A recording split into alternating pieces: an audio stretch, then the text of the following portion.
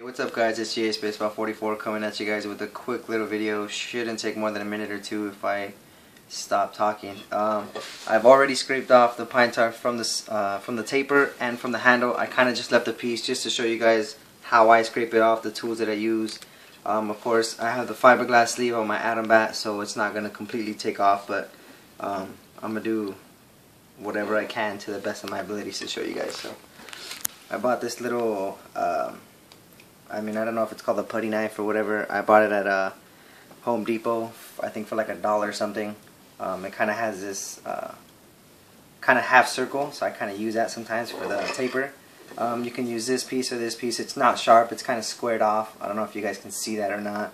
Um, but it's squared off, so it's not really going to ruin your bat or anything. Just don't apply too much pressure or you might dig into your bat, especially if uh, it's an unfinished bat. So uh, let me just show you guys what I mean can do it towards you or away from you.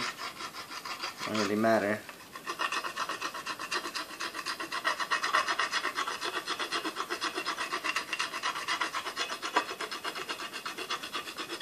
Just reminding you guys that um, you don't want to put too much pressure on it because you don't want to take off the polyurethane coat of your bat or dig into your unfinished bat possibly. So you're going to have to do it like kind of like a few reps or I guess sets.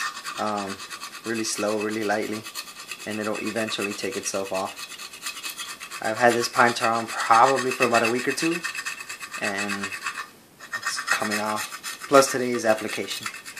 So, um, I might show you guys how to apply the, the pine tar, the genuine pine tar, in another video.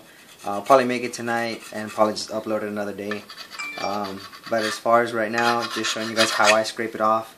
Um, the reason you still see them in these grooves is because I do have the fiberglass sleeve on my bat. If it was a normal bat, kind of like just piece of wood, it would just come off kind of like this. I don't know if you guys can see that, but uh, on the black bat it kind of just comes off the same. So um, that's how I take it off.